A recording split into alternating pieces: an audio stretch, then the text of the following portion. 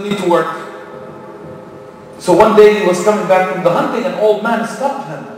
And he told him, أَلِهَذَا خُلِقْتَ أَمْ بِهَذَا أُمِرْتَ He said, is this that you were, is this what you, you, were, you were created for? Or is this what you have been ordered to do in your life? Allah created you to do this? Just to go hunting and come back? And how many people you see in your life? I'm talking about, not talking about non-Muslims, I'm talking about Muslims. Muslims. They go to work, they come home, they eat, they watch TV, they drink, and they sleep. I'm not hurting anybody. I am so good to people. I am so nice to people. I am not talking too much about people. I, you know, uh, I, I am so so good about everything except that.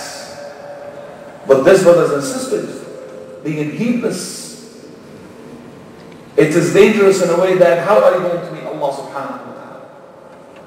Yeah, you're not hurting people, but you're hurting yourself, you're hurting your family. Your family are looking upon you and they say, look what he's doing, and they're going to do the same thing you do. And what kind of generation are you going to have after that? Another thing that would ruin the heart of people is the false love. You know, you love something that you cannot get. A man loving a wife, you know, a, a, a, girl or a girl loving a, a man, something that you cannot get. There's something in your hand. It's a false love. Anyone, anyone it is. Doesn't matter what kind of love. That will ruin your heart. Why? Because you never get that, and then you start blaming others for things that is not happening, and then what happened to your heart? Become weak and weak. يقول ابن القيم رضي الله عنه رحمه الله يقول العشق خمر الروح He said love is the wine of the soul. You keep loving and loving. Remember the, the story of Qais and Layla. Qais and Layla, this man was never married to Layla and he died and she died without marrying, marrying each other. And his father was so concerned about him, he lost his mind. So he said, let's take him to Hajj. They were before Islam, but they used to have Hajj. So he took him to the Hajj so he will you know, have some rituality. So he started going around, you know, and making the tawaf and all of that. And then someone was shouting for his wife or somebody, her name Layla. And then he heard the name and he said Layla. And he started giving poetry and poem about Layla as if he said, I'm looking at the Kaaba and I see Layla. Layla is the Kaaba for me. Or the Kaaba is Layla. This kind of love. And he died thinking about that. That's why Ibn Qayyim yaqul, he said, this kind of love is the wine of the soul. يسكرها it will become drunk فيحجمها عن معرفة عن معرفة الله it will block it from understanding and knowing Allah subhanahu wa ta'ala وعدم الاتصال بالله والصلاة that people will be heedless about that number three desires and dreams you know daydreams you know what like this man he is poor and he found one time an egg.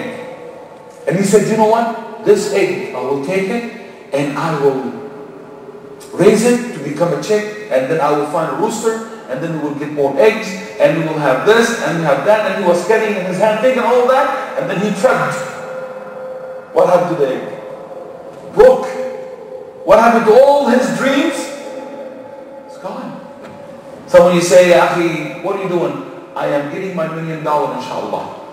I'm working getting that million dollar. When are you going to get that million dollar? When I'm getting that million dollar, I will do. When I get this, I will do. And I will get this, I will that. You are riding the desires, the false, false desires of your heart. It's not there. You don't have anything. And you're just making imagination. That's why our Rasulullah always said that to talk about reality. And as I said today in the khutbah, you know, you can be swimming up there in the, uh, between the clouds and all that, but when you come down to earth, this is the reality of the matter. The, the challenges that you have every day, that's what you have to deal with. Number four, the bad companionship. Rasulullah يقول المرء على دين خليله.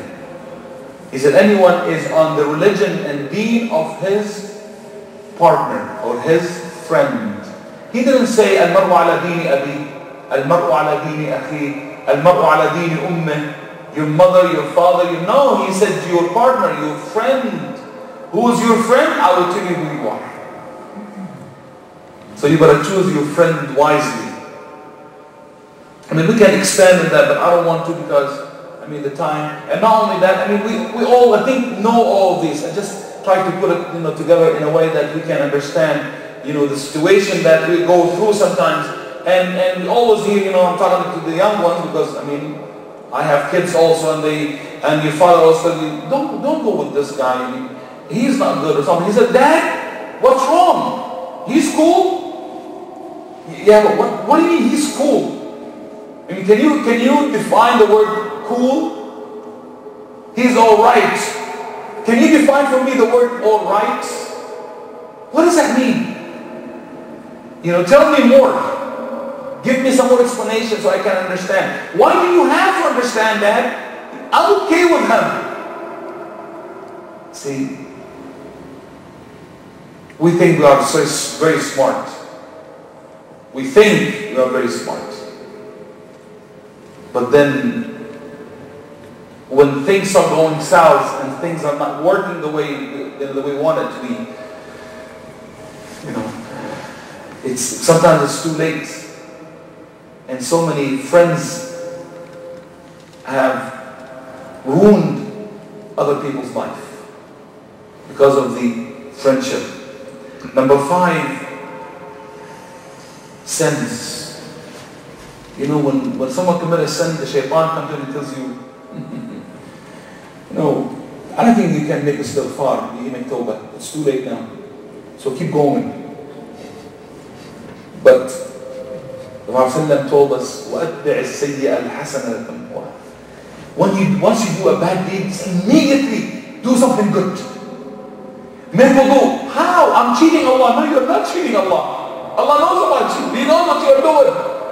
You know when you say, someone will say, I cheat Allah, like Allah doesn't know stuff about you. He knows about you. He knows what you're doing. He knows that you did all these sins. So that's why you say, Allah, I'm repenting to you. But what about I go back again, repent again, and repent again, and repent again, and ask Allah subhanahu wa ta'ala to really, you know, give you a strong heart so you will stop committing sins. We cannot, I mean, you know, sometimes we commit sins. But then, al-istighfar is the, is the key to your heart and forgiveness. Number six, the nonsense talk, the haram, listening to the haram. And I'm not talking about listening to, I mean, again, I'm going to get to the, the arena of listening to music and not listening to music. I want to make it easy for you. Listening to anything haram, one of the great ones that Prophet have talked about is listening to backbiting. Backbiting. Prophet was passing by one of the graves and he started putting, you know, some green, you know, trees and this and that. And they asked him, Rasulullah, why are you doing that? He said, إِنَّمَا يُعَذَّبَانِ Those are two Muslims, but they been, are, are being يُعَذَّبَانِ, tortured. They've been hit in the grave. What did they do? The first one, كَانَ لَا يَسْتَبْرِئُ مِنْ بَوْلِهِ He never clean himself after he goes to the bathroom.